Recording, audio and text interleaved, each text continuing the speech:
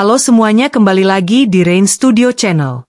Di video kali ini kita bakalan bahas beberapa album soundtrack film Indonesia yang pernah populer di kalangan pendengar musik. Namun sebelum kita lanjut, jangan lupa like, komen, dan subscribe serta berikan super thanks kepada kami biar kami makin semangat membuat video seputar musik. Langsung saja. Di sini tuh sudah jadi budaya. Cara mereka berekspresi memang seperti itu. Dan Kasela 20 miliar karena lagu Cinderella.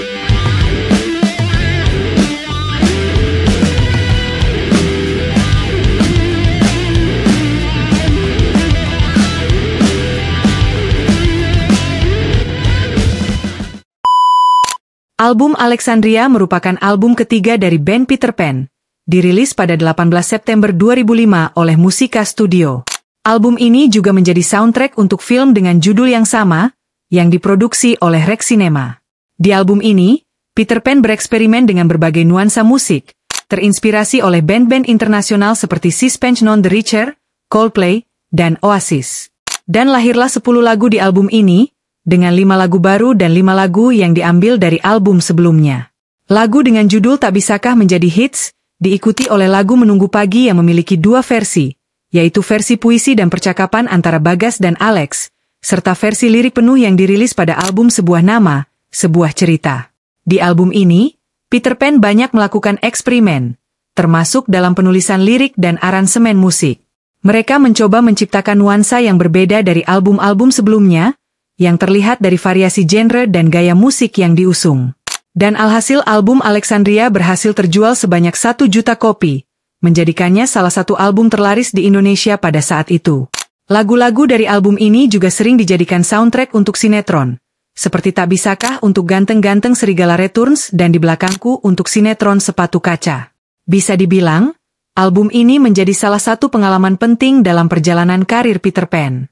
Album ini tidak hanya menampilkan kemampuan musikalitas mereka yang berkembang, tetapi juga menandai perubahan signifikan dalam formasi band. Dengan penjualan yang luar biasa dan lagu-lagu yang tetap populer. Hingga kini, Alexandria adalah salah satu karya terbaik Peter Pan yang patut dikenang.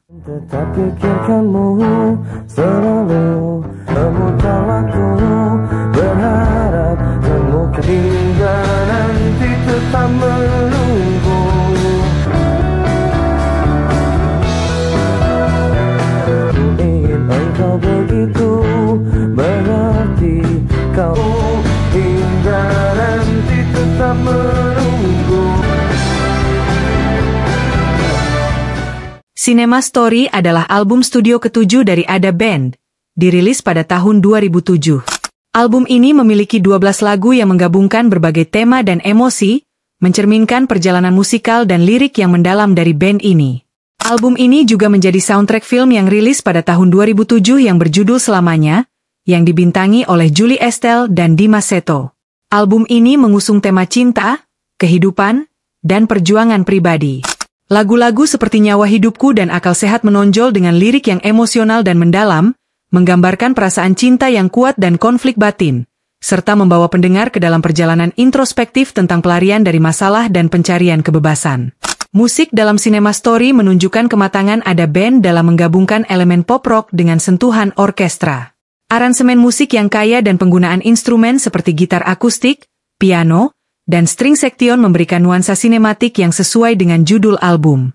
Produksi album ini dilakukan dengan sangat baik, memastikan setiap lagu terdengar jernih dan penuh emosi. Album ini pun diterima dengan baik oleh penggemar dan kritikus musik. Album ini memperkuat posisi Ada Band sebagai salah satu band pop rock terkemuka di Indonesia. Lagu-lagu dari album ini sering diputar di radio dan menjadi hits di berbagai tangga lagu, Pengaruh album ini terlihat dalam cara ada band terus bereksperimen dengan sound mereka di album-album berikutnya. Album ini pun menunjukkan kedewasaan musikal dan lirik dari Ada Band. Dengan tema yang kuat, aransemen musik yang kaya, dan produksi yang solid, album ini menjadi salah satu karya terbaik mereka. Bagi penggemar musik Indonesia, Cinema Story adalah album yang wajib didengarkan untuk memahami evolusi dan kontribusi Ada Band dalam industri musik.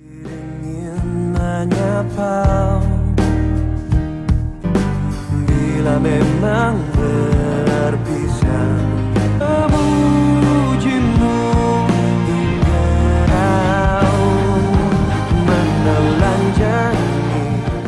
Berbeda dengan list sebelumnya, lagu yang menjadi soundtrack film yang rilis di tahun 2005 ini tergabung dari beberapa lagu dan beberapa musisi.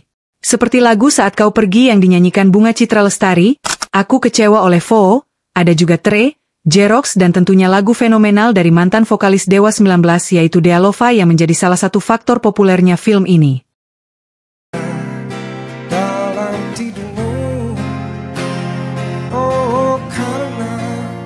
hati telah letih Kau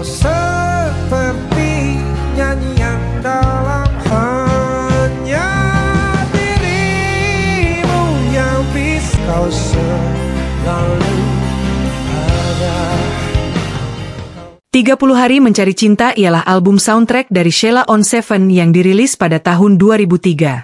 Album ini juga sebagai soundtrack untuk film dengan judul yang sama, yang dibintangi oleh Nirina Zubir, Maria Agnes, dan Dina Olivia. 30 Hari Mencari Cinta merupakan proyek yang unik bagi Sheila on Seven karena album ini tidak hanya berfungsi sebagai album studio, tetapi juga sebagai soundtrack film. Album ini dirilis di bawah label Sony Music Entertainment Indonesia dan menampilkan beberapa lagu baru serta versi baru dari lagu-lagu lama mereka. Album ini mengusung tema cinta, persahabatan, dan pencarian jati diri.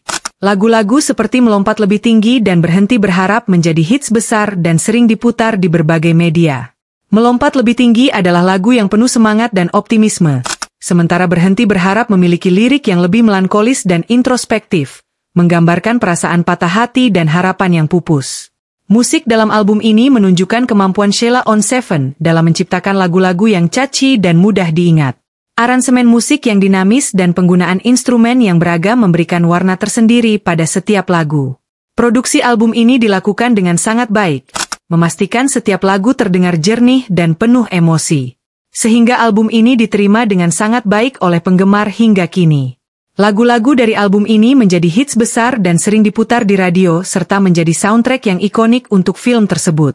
Dan bisa jadi, adalah album yang menunjukkan kemampuan Sheila on Seven dalam menciptakan lagu-lagu yang tidak hanya caci tetapi juga memiliki kedalaman lirik dengan tema yang kuat, aransemen musik yang dinamis, dan produksi yang solid. Bagi penggemar musik Indonesia, 30 Hari Mencari Cinta adalah album yang wajib didengarkan untuk memahami evolusi dan kontribusi Sheila on Seven dalam industri musik.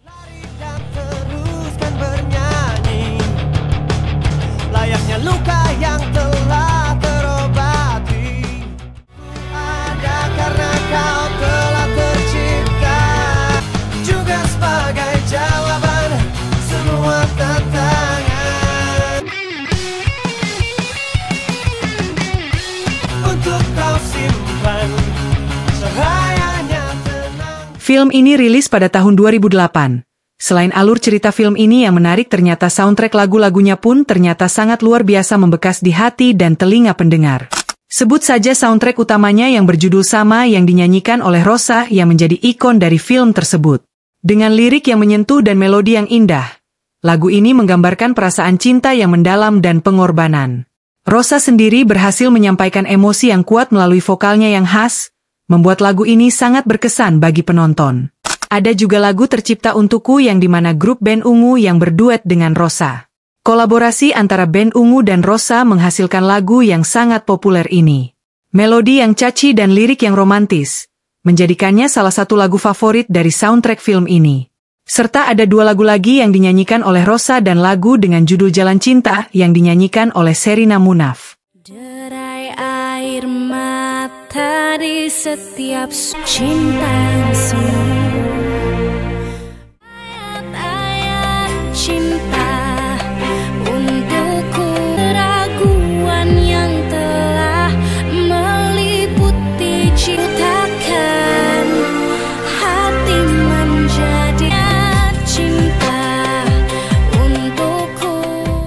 Album soundtrack film ini dirilis pada tahun 2019, setahun setelah filmnya rilis. Album ini rilis dan dijual secara independen di seluruh gerai KFC di Indonesia. Album ini menampilkan enam lagu yang diambil dari Four Dylan untuk film tersebut dan ditambah dengan delapan lagu baru.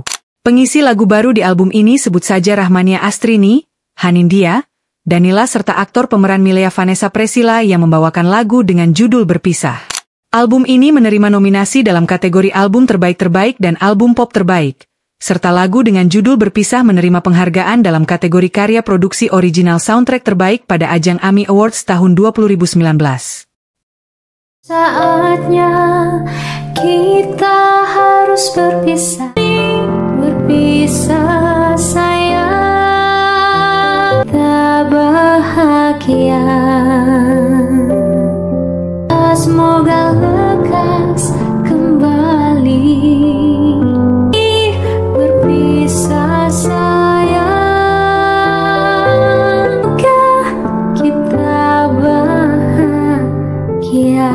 Album soundtrack film Coklat Strawberry dirilis pada tahun 2007 untuk mengiringi film dengan judul yang sama. Album ini merupakan kompilasi dari berbagai musisi Indonesia terkenal dan pendatang baru, yang memberikan warna musik yang beragam dan menarik. Album ini berisi 10 lagu yang dinyanyikan oleh Sebut saja grup band Ungu dengan lagu Di Sini Untukmu dan Sahabatku memberikan sentuhan emosional yang mendalam, cocok dengan tema persahabatan dan cinta dalam film. Naf dengan seharusnya kita dan ketika semuanya harus berakhir menambahkan nuansa nostalgia dan refleksi. Syahrini dan Leto juga memberikan kontribusi yang signifikan dengan lagu-lagu yang menyentuh hati. Serta Niji dan Lobo menambahkan variasi dengan gaya musik mereka yang unik dan energi. Kala itu, grup band Ungu merasa tertantang dalam pembuatan soundtrack ini. Meskipun mereka sudah berpengalaman dalam menggarap album soundtrack sebelumnya, hal ini menunjukkan dedikasi mereka untuk memberikan yang terbaik dalam setiap proyek musik yang mereka kerjakan.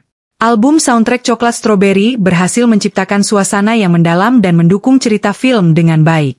Kombinasi artis-artis terkenal dan pendatang baru memberikan variasi yang menyegarkan, membuat album ini layak untuk didengarkan baik oleh penggemar film maupun musik Indonesia.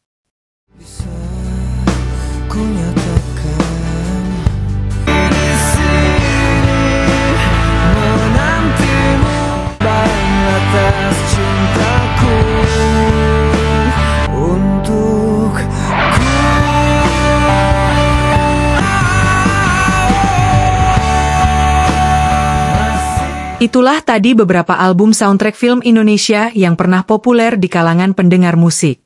Terus support kami dengan menekan like, komen, dan subscribe serta berikan super thanks kepada kami, biar kami makin semangat membuat video seputar musik. Sampai ketemu lagi di video selanjutnya.